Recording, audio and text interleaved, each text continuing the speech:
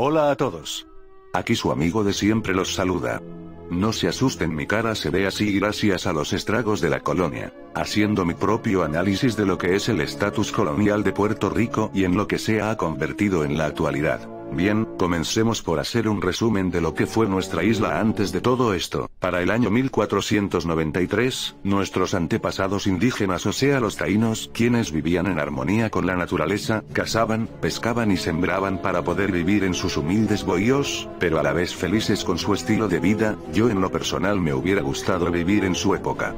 Para ese mismo año llegó la desgracia a sus vidas, pues los españoles llegaron con sus ínfulas de poder y les arrebataron sus tierras y con ellas, su sociedad apacible que ellos habían construido, por años vivieron bajo las torturas y sufrimiento bajo el dominio español, hasta llegar al genocidio, fue muy triste esa etapa para su pueblo y su amado Boriquén. Luego por toda América, surgieron guerras, desde la llegada de los peregrinos a Norteamérica, quienes al igual que los españoles destruyeron a los pueblos nativos, lo que hoy se conoce como Estados Unidos, los nativos que quedan hoy día se encuentran en reservas. La idea aquí es plasmar cómo sucedió todo, los habitantes de toda América pusieron mucha presión por defender sus territorios, comenzando desde México hasta Argentina, por así decirlo, fueron cruentas guerras, fue emulando la derrota de Inglaterra ante las llamadas Trece Colonias y su independencia absoluta de la monarquía inglesa el 4 de julio de 1776, definitivamente los que estaban tras ese conflicto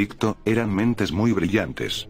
Después de todas esas guerras España tuvo que ceder ante los yanquis, y les vendió los pocos territorios que le quedaban mediante un tratado, conocido como el Tratado de París de 1898, mediante dicho tratado, España abandonó sus demandas sobre Cuba, que declaró su independencia. Filipinas, Guam y Puerto Rico fueron oficialmente entregadas a los Estados Unidos por 20 millones de dólares. Puerto Rico, fue comprada por Estados Unidos, nosotros no los invadimos y nada por el estilo, para los ignorantes deberían leer un poco la historia antes de hablar estupideces y disparates. Durante la guerra hispano-estadounidense, Puerto Rico fue invadido y se convirtió posteriormente en una posesión de los Estados Unidos. La primera mitad del siglo XX estuvo marcada por la lucha por obtener mayores derechos democráticos de parte de Estados Unidos la ley Foraker de 1900, que estableció un gobierno civil, y la ley Jones de 1917, que otorgó la ciudadanía estadounidense a los puertorriqueños, preparó el camino para la redacción de la Constitución de Puerto Rico y para el establecimiento de elecciones democráticas en 1952. Sin embargo, el estatus político de Puerto Rico, un estado libre asociado controlado por los Estados Unidos, sigue siendo una anomalía a más de 500 años, que cuando los primeros europeos se asentaron en la isla. Anomalía a estas alturas, Estamos en el 2015 y somos una colonia en bancarrota, sin esperanzas para el futuro, en eso la convirtieron. Bajo el dominio americano nuestros campesinos, ya mulatos, con tres sangres corriendo por sus venas, la de los taínos, la de los españoles y la de los africanos, esas características les hacía asquear a los yanquis, y nos describían, como la peor escoria existente en el planeta, uno de los grandes defensores de la independencia de Puerto Rico, el señor Pedro Albizu Campos, logró narrar en muchos de sus escritos las aberraciones de las cuales fueron sometidos cientos de puertorriqueños bajo el yugo yanqui, el jíbaro puertorriqueño luchador y trabajador por excelencia, logra sobrevivir a todos esos abusos, y ellos no querían darnos la independencia, porque solo le interesaba el territorio, más no los habitantes. ¿Por qué la ley Jones otorga a la ciudadanía americana?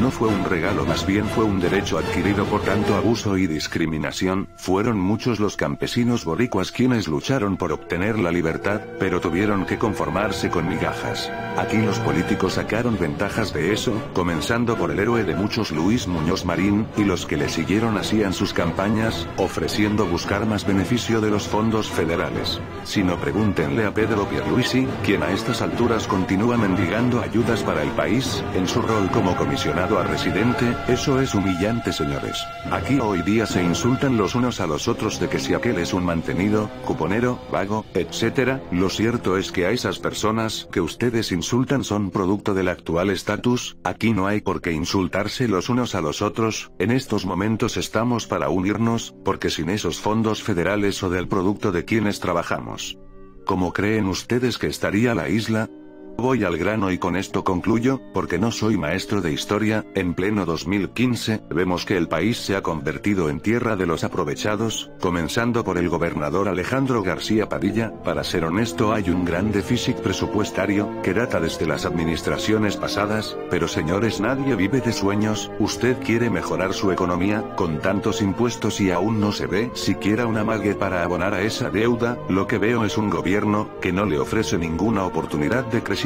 al ciudadano, pero sí lo está destruyendo a base de impuesto, sin ningún aumento salarial. ¿Cuál es su intención realmente?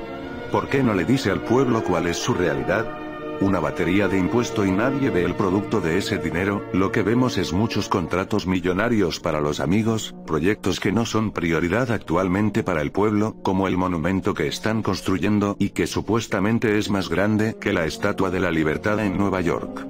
Todas esas irregularidades se han visto, de administración tras administración, se les ha convertido en costumbre, debemos terminar esta mala práctica ya. ¿Y cómo? Diciendo no a la colonia, los partidos PNP y PPD, han llevado al país al estado en que se encuentra, todos quieren gobernar bajo la colonia, porque es dinero fácil para ellos. Detengamos esto exigiendo como pueblo, igualdad o libertad. Bajo la estabilidad tendríamos los mismos derechos que los demás estados, bajo la independencia tendríamos la libertad de negociar y hacer lo que queramos sin ser supervisados y deberles cuentas a nadie. Pero no debemos seguir como estamos, mucha gente quiere colonia, porque tiene ciudadanía americana, ayudas federales y participación como isla en diferentes eventos internacionales, pero para nadie es un secreto que no ganamos mucho a nivel internacional hace tiempo, todas esas cosas pasaron a un segundo plano bajo este estatus colonial, el descuido es tal que el sistema educativo está por el piso, la policía está descuidada y la más importante de todas la salud, no ofrece los servicios adecuados, es una crisis total. Ni hablar de los demás servicios. En fin aquí está la razón por la que tú como pueblo debes ponerle fin a la colonia. Los vemos criticando como muchos países del Medio Oriente proceden por sus ideas religiosas y los tildan de bárbaros y de inhumanos, por sus fanatismos, aquí es lo mismo, porque nos estamos sacrificando como pueblo, por insignias de partidos, por una corona de reinas, que por cierto ya van par de años que nos representan extranjeras, por una medalla olímpica, también la medalla de plata que ganamos en una olimpiada, tampoco era boricua quien la ganó, pero les pido abran sus ojos, la isla de la fantasía no existe y tampoco la utopía. Piensen en ustedes y en sus familias, porque con la colonia solo están viviendo bien los que ustedes eligen, nosotros cada día estamos peor. Gracias por su atención, por si acaso yo creo en la igualdad y tengo mis razones, pero cada quien medítelo. Adiós.